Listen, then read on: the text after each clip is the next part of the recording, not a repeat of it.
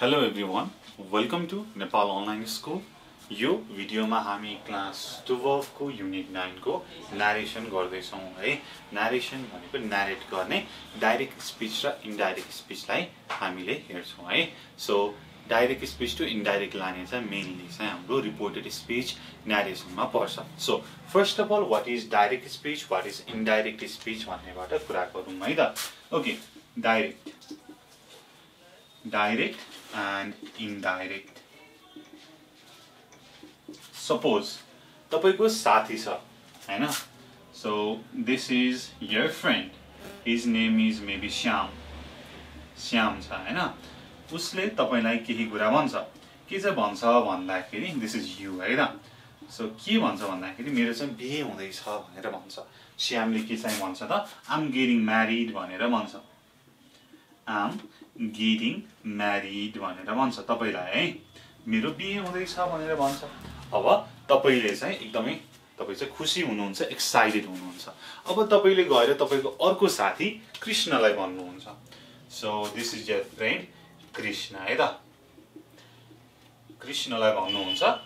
कसले भनेको कुरा त? श्यामले भनेको कुरा कृष्णलाई गएर भन्नुहुन्छ। अब के चाहिँ गएर भन्नुहुन्छ त? सुन त कृष्ण श्यामको त बिहे हुँदैछ भनेर भन्नुहुन्छ। नि होइन? हो त्यसैलाई चाहिँ हामीले रिपोर्टेड स्पिच भनेर भन्यो रिपोर्ट गर्ने है? सो तपाईँले के चाहिँ भन् भन्नुहुन्छ त?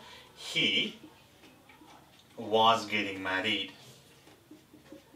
he was getting married भनेर भन्नुहुन्छ। सो हामीले यसरी चाहिँ रिपोर्ट गर्छौँ भन्ने कुरा भयो। सो मेनली के त? रिपोर्टेड स्पिचमा टेन्स चेन्ज हुन्छ। एन्ड सब्जेक्ट चेन्ज हुन्छ कसले भनेको भन्ने चेन्ज हुन्छ है। सो मैले यसमा वान बाई वान यो टेन्स यसमा चेन्ज हुन्छ भनेर भनिनँ बट हामीले यसलाई सल्भ गर्दै जाँदाखेरि जुन जुन रुल आउँछ त्यो त्यो रुलमा तपाईँहरूलाई भन्छु है। त ओके ल फर्स्टमा छ the principal said you can phone from my office Rita भनेर भनेको छ। सो फर्स्टमा हामीले के हेर्नुपर्छ त भन्दाखेरि कसले कसलाई भनेको प्रिन्सिपलले रितालाई भनेको हो। द्याट्स वाइ हामीले यहाँ पढ्न सक्छौँ। So the principal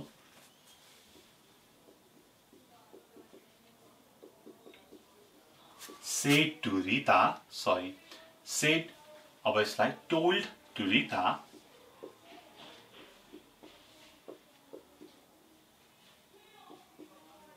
Rita that अब यु भनेर भनेको छ यु भनेको त रिता हो नि त होइन? So that she she can केमा चेन्ज हुन्छ? कुडमा चेन्ज हुन्छ। She could phone phone from his office phone from his office phone from his office भयो। सो हिज भनेको प्रिन्सिपलको office that is his office भन्ने कुरा भयो है। Next B you must not neglect your duty said the teacher to the student टिचरले स्टुडेन्टलाई भन्नुभयो तिमीहरूले आफ्नो ड्युटीलाई नेग्लेक्ट गर्नु हुँदैन भनेर भन्नुभयो है? ओके सो तपाईँले यहाँ भन्न सक्नुहुन्छ the teacher told told the students sorry यहाँ टु भएन get up that they must not neglect their duty. Neglect their duty भनेर भयो। उनीहरूको ड्युटी यु छ स्टुडेन्ट छ है? सो स्टुडेन्ट मात्रै छ भनेदेखि अब यहाँ चाहिँ हिज अथवा हर भनेर भन्न मिल्यो है? अब स्टुडेन्ट्स भनेर भनेको भए चाहिँ देयर भनेर भयो है? सो यहाँ चाहिँ he or she must not neglect his or her duty भनेर भन्न सक्नुभयो। किनकि स्टुडेन्ट भनेको he or she we do not know exactly नि त। द्याट्स है त? Okay C the student said sir please grant me leave for two days भनेर छ। अब स्टुडेन्टले भन्दैछ सर प्लिज होइन मलाई चाहिँ दुई दिनको लागि छुट्टी दिनु भनेर भन्दैछ। सो दिस प्लिजलाई चाहिँ हामीले रिक्वेस्टेडमा चेन्ज गर्न मिल्यो। सो हामीले यहाँ के भन्न मिल्यो त the student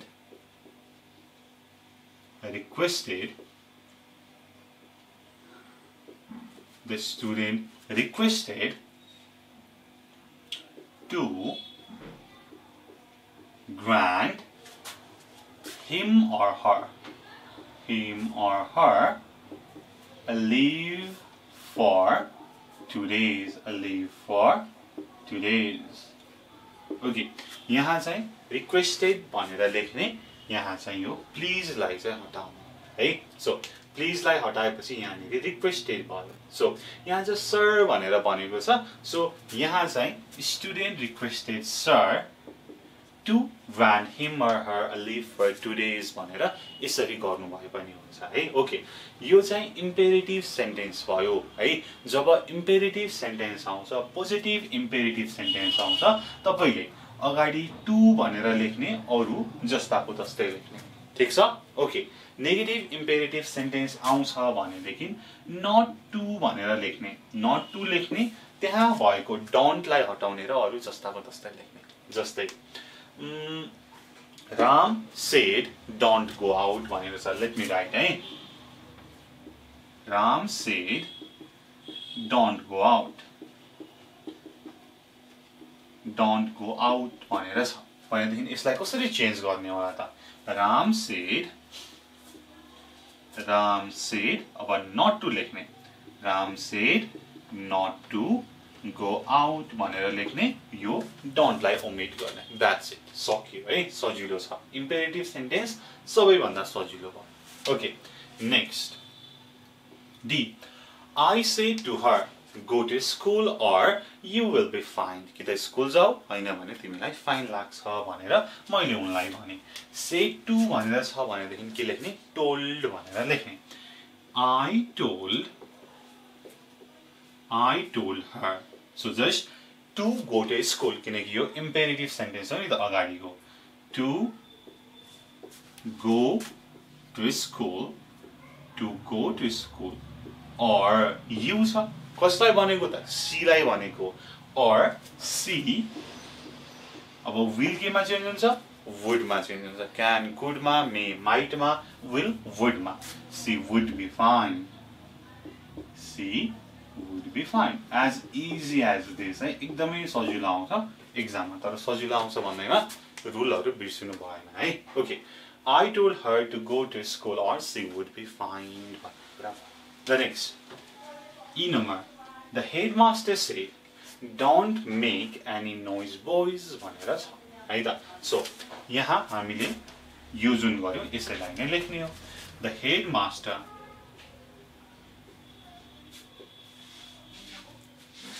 the head master अब अब हेड मास्टरले भन्दै हुनुहुन्छ प्रिन्सिपलले भन्दै हुनुहुन्छ भनेदेखि फरबेड गर्नुभएको नि त नगर है भनेर भन्नुभएको नि त होइन? So that's why the head master forbade forbade boys to make noise भनेर भन्न मिल्यो। Forbade boys to make any noise to make any noise भनेर भन्न मिल्यो। अथवा द हेड मास्टर told the boys not to make any noise not to make पनि भन्न मिल्यो है। केही कुरामा कि त प्रोहिबिट गरेको छ भनेदेखि फरबेड भनेर लेख्न सक्नुहुन्छ। त्यसपछि के चाहिँ गर्नको लागि फरबेड त हल्ला नगर्नको लागि यसरी तपाईँले लेख्न सक्नुहुन्छ है त। Okay next F work hard if you want to rise in life said the old man बुढो मान्छेले भन्नुभयो यदि तिमी जीवनमा उचाइ राइज हुन चाहन्छौ भनेदेखि तिमीले मिहिनेत गर्नु पर्यो भनेर। अब बुढापाका मान्छेले भनेको के छ हो त? सजेसन दिएको भयो होइन? सजेसन दिएको भयो। That's why the old man the old man suggested अथवा एडभाइस्ड लेख्न सक्नुहुन्छ। Suggested to work hard to work hard if if अब you भनेको कसलाई त मलाई भनेको भयो if I wanted to rise in life if I wanted to rise in life भनेर भयो the old man suggested to work hard if I wanted to rise किन I त यहाँ कसलाई भनेको त मलाई भनेको नि त that's why I है Okay, next. He said goodbye my friends भनेर छ। होइन? गुड बाई भनेर भनेको छ। अब यहाँ के भन्न सकियो त भन्दाखेरि he bade his friends goodbye भनेर भन्न सक्यो। है बेड भनेर लेख्न सकिन्छ। He bade goodbye goodbye his friends भनेर लेख्न सकिन्छ he bade goodbye to his friends bid bade he bade goodbye to his friends भनेर लेख्न सकिन्छ है ओके यो गऱ्यौँ हामीले सातवटा क्वेसन अब हाम्रो अर्को चारवटा क्वेसन बाँकी छ है? Okay she said to me have a pleasant journey है तिम्रो अगाडिको जोर्नी यात्रा राम्रो होस् भनेर चाहिँ उनले भन्यो। भनेको चाहिँ सी इज विसिङ मी नि त होइन?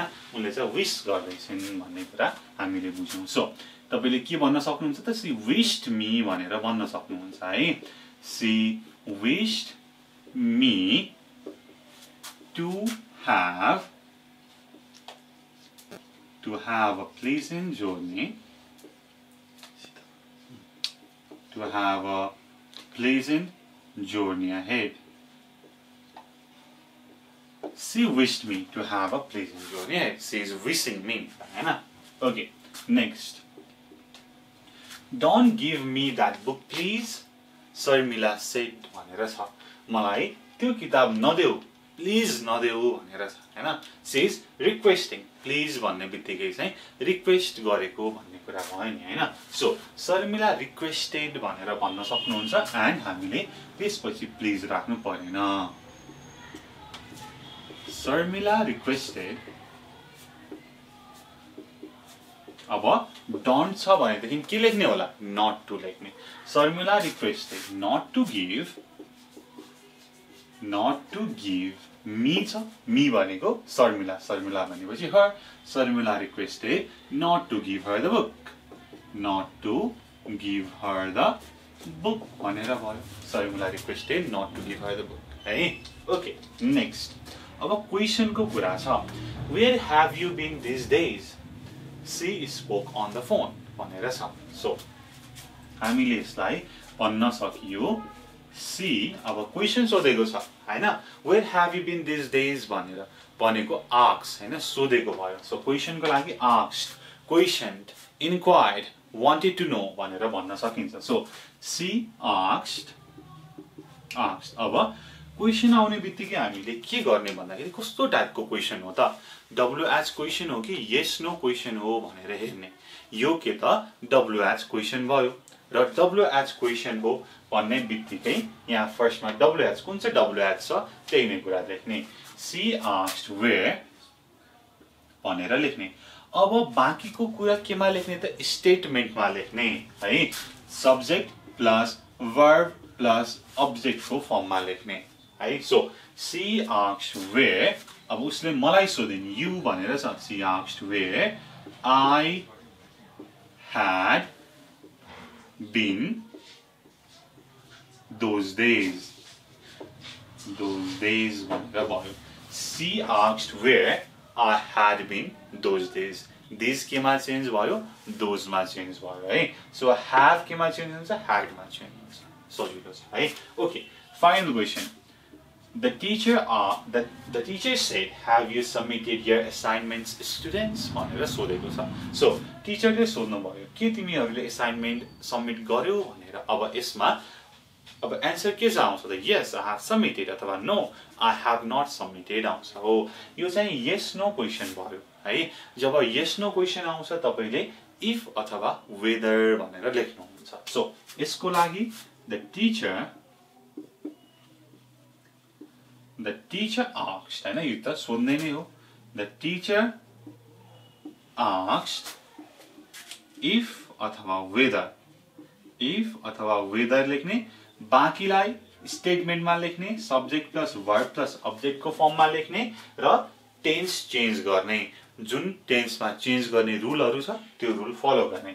The teacher आक्स्ट if if they they had submitted if they had submitted their assignments भनेर भयो if they had submitted their assignments भनेर भयो ठिक छ? ल हामीले यति गऱ्यौँ। अब यसमा बुझ्नुपर्ने कुरा है। सो इम्पेरिटिभ सेन्टेन्स आयो भनेदेखि जस्ट टु लेख्ने बाँकीको कुरा जस्ताको तस्तै लेख्ने। इम्पेरिटिभमा नेगेटिभ आयो डन्ट भनेको आयो भनेदेखि नट टु लेख्ने अरू जस्ताको तस्तै लेख्ने। त्यसपछि भनेको क्वेसनको कुरा छ? क्वेसन आयो भनेदेखि यसलाई सल्भ गर्ने एप्रोच हामीले के बनाउनु पर्छ त? फर्स्टमा यो कस्तो टाइपको क्वेसन हो त भनेर हेर्नु पर्यो। डब्लुएच क्वेसन हो कि यस नो क्वेसन हो भनेर हेर्नु पर्यो। सो डब्लुएच क्वेसन हो भनेदेखि फर्स्टमा डब्लुएच जुन वर्ड छ त्यो नै लेख्ने डब्लुएच क्वेसन भनेको where why how who whose भन्ने क्वेसनहरू छ। डब्लुएच क्वेसन हो। फर्स्टमा डब्लुएच वर्ड लेख्ने त्यसपछि अरू लेख्ने। कसरी लेख्ने त? स्टेटमेन्टमा लेख्ने। स्टेटमेन्ट भनेको सब्जेक्ट प्लस वर्ब प्लस अब्जेक्टको फर्ममा लेख्ने प्लस टेन्स चेन्ज गरेर लेख्ने। त्यसको सब्जेक्टहरू चेन्ज गरेर लेख्ने। जस्तै यु आईमा चेन्ज भएको छ। ह्याभ ह्याडमा चेन्ज भएको छ। है त? अर्को अर्को टाइपको क्वेसन भनेको यस नो क्वेसन हो। यस नो क्वेसन आउँछ भनेदेखि हामीले इफ अथवा वेदर भनेर लेख्छौँ। सुरुमा इफ अथवा वेदर लेख्ने अरू बाँकीको कुरा त्यही हो। बाँकी subject plus word plus object लेख्ने त्यसपछि टेन्स चेन्ज गरेर लेख्ने। Okay the teacher asks if they had submitted their assignments the teacher asks whether they have submitted the assignment भनेर भयो है। यो चाहिँ क्लास टुवेल्भको युनिट नाइनको क्वेसन हो। तपाईँले बुकमा ग्रामर पोर्सन पोर्सनमा पनि हेर्न सक्नुहुन्छ है। र यसको डिटेल्ड भिडियोको लागि डिटेल रुलहरूको भिडियोको लागि you can watch on Nepal online school युट्युबमा reported speech Nepal online school भनेर सर्च गर्न सक्नुहुन्छ है त? सो यो कुरा भयो र यो हाम्रो एक्जाममा पनि आउने क्वेसन हो है? सो ओके यो भिडियोको लागि यति भयो। अब तपाईँले केही बुझ्नु भएको छैन तपाईँलाई केही कन्फ्युजन छ भनेदेखि हामीलाई भन्न सक्नुहुन्छ है? सो टु डु सो तपाईँले यो नम्बरमा फोन गर्न सक्नुहुन्छ।